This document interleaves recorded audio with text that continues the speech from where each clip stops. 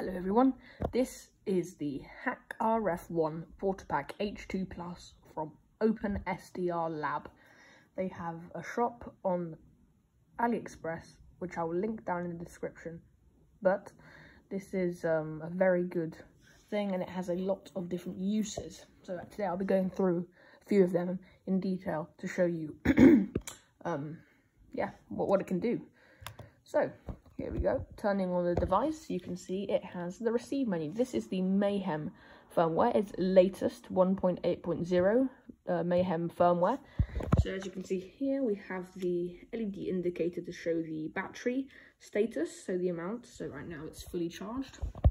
You can charge the device with um, a cable which it will receive. You will receive in the box, which comes with this micro USB cable and it will charge it nicely within a couple of hours.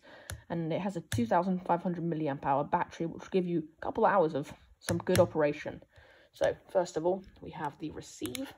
So you can receive ADSB which is aircraft transmissions AIS which is boat transmissions um, APRS audio Bluetooth low energy and all sorts of other stuff. One of the best features in the receive menu is definitely the search thing because you can set a frequency so if you wanted to get a car frequency, for example, from a key, you just go 400 to uh, 500. Um, I do this quickly, it's quite hard to see when you're looking at the phone. So that will scan between those frequencies you can, and see um, what the frequency it's transmitting on. So you can set the threshold for this, if it would focus. You can set the threshold for this um, higher or lower which is very nice. So that will tell you the frequency. So then we have the transmit feature, which lets you transmit. This is very illegal, by the way, but it's cool for testing in like your basement or something where it's not going to interfere with anything else.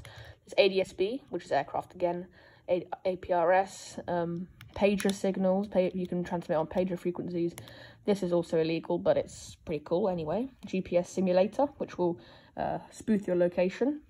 Then we have the jammer, which will jam a frequency from anything you want and it will create noise which will block the signal from happening. Once again, illegal, but pretty cool nonetheless. It's good for testing applications and whatnot.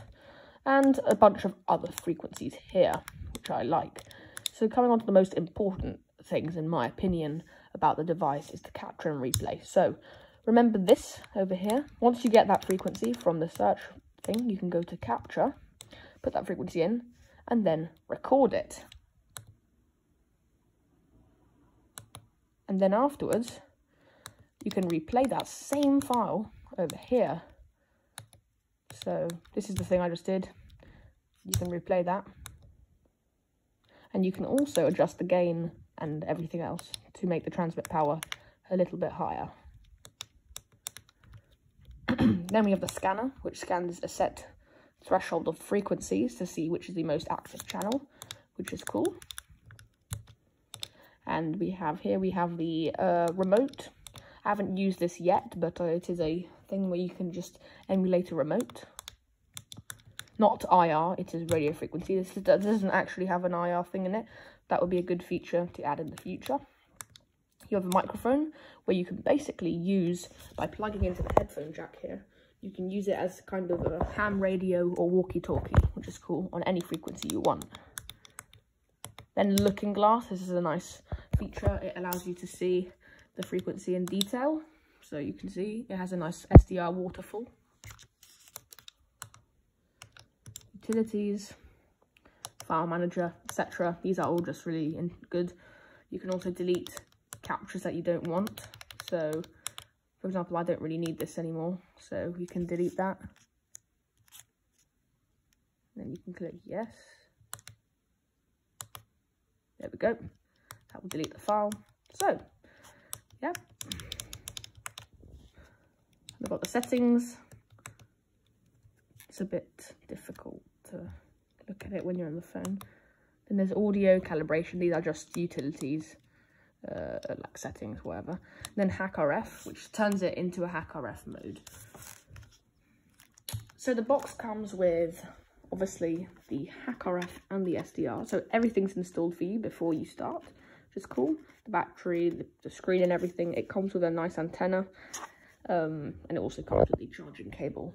And you will need a um, another SD card um, because it doesn't come with one, but you don't need to use it. But I think if you're getting more into the advance of the actual SDR, you will need the obviously the micro SD card to put, for example, the ADSB map and everything. So let me show you that. Um, I'm not actually going to transmit anything, but you can actually look at the map. So you see, but you can only do that with the SD card. So yeah, so that's about it. Um, there'll be some videos coming out soon about some different use cases, some fun things you can do with it. So thank you.